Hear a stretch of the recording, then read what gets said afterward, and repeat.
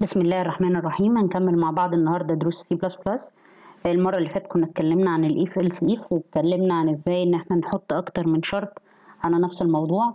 آه النهارده هنكمل في نفس القصة بتاعة الشروط بس عايزين نعمل برنامج صغير كده يعرض لنا الشهور.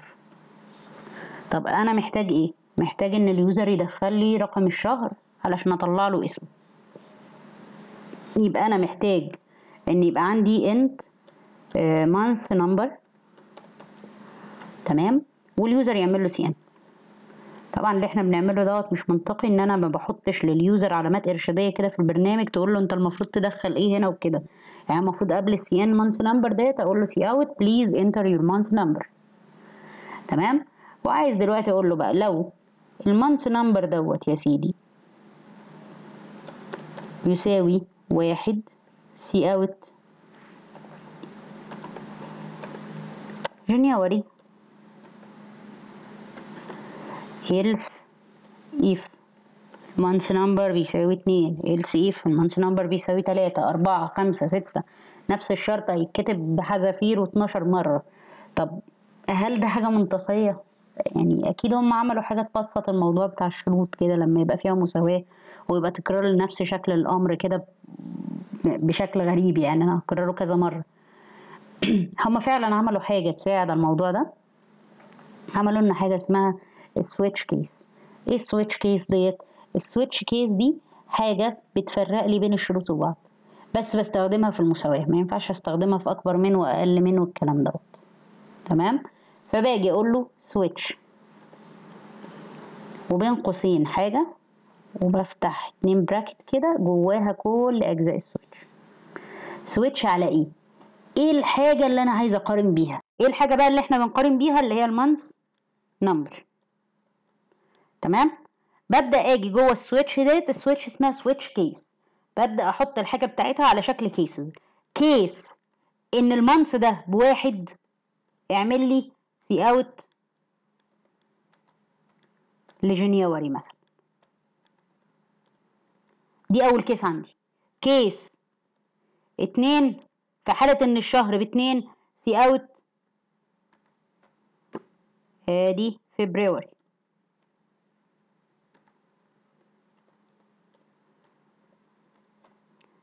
آه طبعا أنا كتبت end line غلط فعمل لي عليها error أهي. case آه تلاتة. cout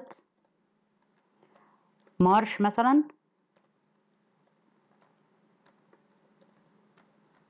case أربعة. cout فبراير كيس خمسة. سي اوت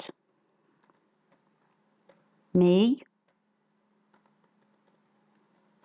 كيس ستة. سي اوت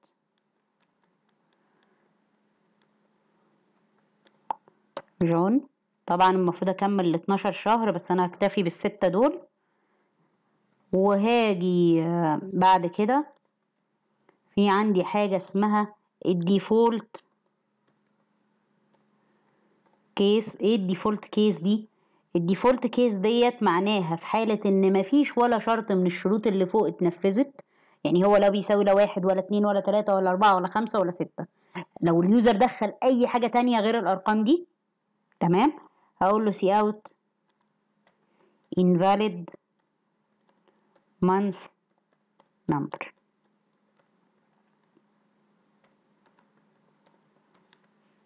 تمام؟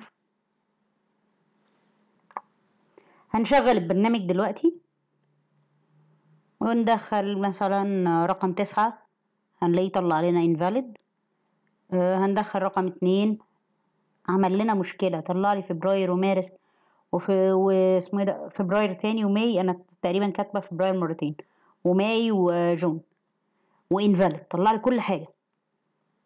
آه أنا فعلا كاتبين هنا فبراير مرتين. تمام؟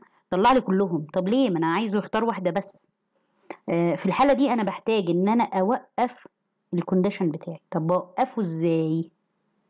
باجي هنا في نهاية ال case بقول له break طب أنا استفدت إيه من كلمة break ديت؟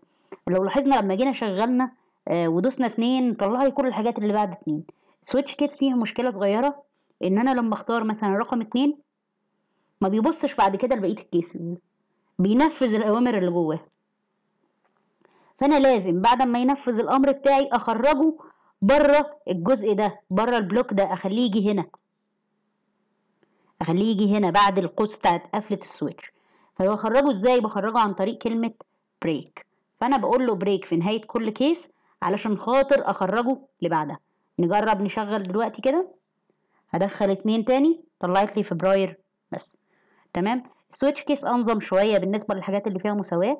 آه، ممكن أستخدم ال switch case على حاجة يبقى نوعها character طب استخدمها على character إزاي؟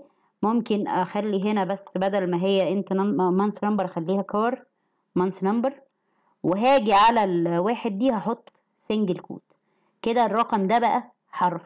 هيتعامل معاه لأنه حرف. طب أنا استفدت إيه إنه حرف؟ آه هنقدر نتعامل معاه ما يدخلش في عمليات حسابية. آه بيتحول جوه ال system لحاجة اسمها ال ASCII value ما بيتحولش للأرقام العادية لما أجي أدخله في عمليات حسابية. آه تمام؟ آه ده هنبص عليه أكتر في حاجة كده اسمها ال string وال character section كامل هنتكلم فيه عن الحروف وال والجمل وإزاي نستخدمه. بس في حالة إن إحنا عايزين نعمل switch case دلوقتي على حاجة حرفية بحطها بين single تمام؟ والتعامل معاها زيها زي أي حاجة أنا هو أدخل واحد طلع لي Jan عادي جدا. الفكرة كلها إن أنا ما ينفعش دلوقتي أجي أقول له month number زائد واحد. لو قلت له دلوقتي هنا cout month number plus 1 مش هيطلع لي اتنين. تمام؟ أتمنى أكون أفدتكم في الدرس ده. والسلام عليكم ورحمة الله وبركاته.